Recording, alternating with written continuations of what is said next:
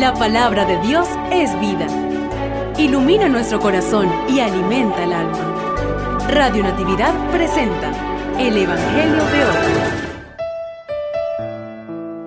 Lectura del Santo Evangelio según San Mateo, capítulo 18, versículos 21 hasta el final y capítulo 19, versículo 1. Gloria a ti, Señor. En aquel tiempo, Pedro se acercó a Jesús y le preguntó, Si mi hermano me ofende, ¿cuántas veces tengo que perdonarlo? ¿Hasta siete veces?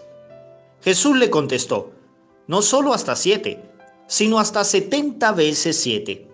Entonces Jesús les dijo, El reino de los cielos es semejante a un rey que quiso ajustar cuentas con sus servidores. El primero que le presentaron le debía muchos millones como no tenía con qué pagar, el Señor mandó que lo vendieran a él, a su mujer, a sus hijos y todas sus posesiones para saldar la deuda. El servidor, arrojándose a sus pies, le suplicaba diciendo, Ten paciencia conmigo y te lo pagaré todo. El rey tuvo lástima de aquel servidor, lo soltó y hasta le perdonó la deuda. Pero apenas había salido aquel servidor, se encontró con uno de sus compañeros que le debía poco dinero. Entonces lo agarró por el cuello y casi lo estrangulaba, mientras le decía, Págame lo que me debes. El compañero se le arrodilló y le rogaba, Ten paciencia conmigo y te lo pagaré todo. Pero el otro no quiso escucharlo, sino que fue y lo metió en la cárcel hasta que le pagara la deuda. Al ver lo ocurrido, sus compañeros se llenaron de indignación y fueron a contarle al rey lo sucedido.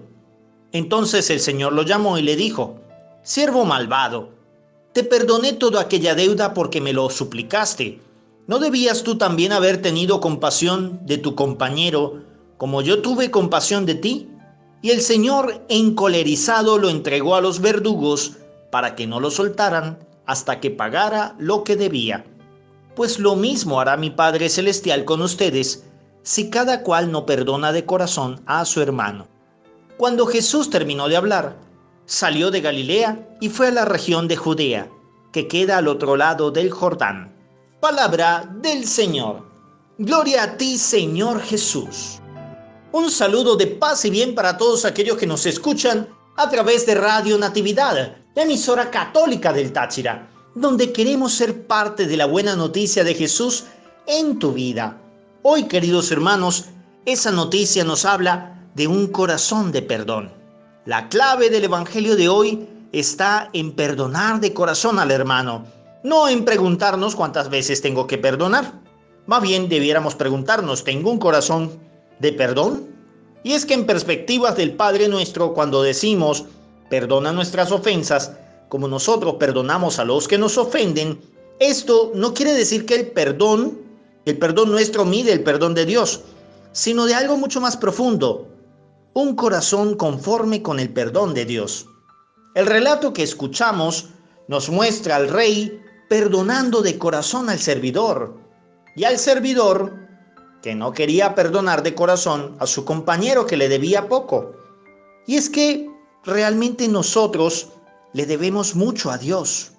Y eso que le debemos tanto a Dios, solamente lo podemos disminuir en la medida en que nosotros mismos perdonemos Seremos duramente tratados, dice Jesús, si no perdonamos de corazón. Este corazón es el que está en juego aquí.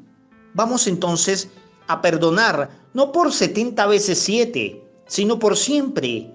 Ya no entra aquí lo cuantitativo, lo numérico, sino lo cualitativo, la calidad del perdón. Porque no son las cosas que perdonamos, sino la capacidad que tengo de perdonar. Dios que es capaz de perdonarme todo si yo perdono también. ¿Y tú tienes un corazón de perdón? ¿O te falta todavía cosas por perdonar? No olvides las etiquetas, los sacerdotes buenos somos más.